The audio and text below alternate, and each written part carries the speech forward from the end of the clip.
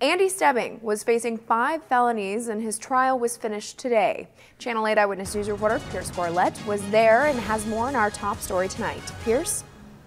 Megan, that's right. In Nebraska City today, Andy Stebbing was in court to receive his sentencing. He was facing up to three years in prison.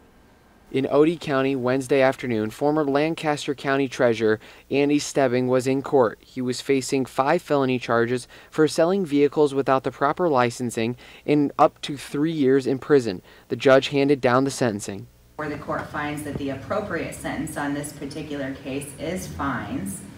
You are fined $1,000 on count one, $750 on count two, and $750 on count three. In total, Stebbing was ordered to pay more than $2,500, and he admitted he made a mistake.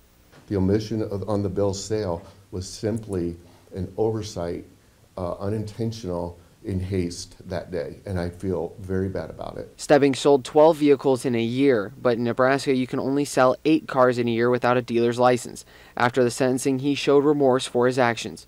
I blame nobody uh, other than myself. Um, I, I, I feel like uh, I was vaguely familiar with the eight car rule. I don't think a lot of people in Nebraska are.